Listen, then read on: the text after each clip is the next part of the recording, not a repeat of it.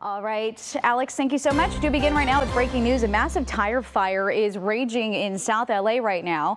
This fire broke out just minutes ago on West 69th and Vermont in a vacant tire store.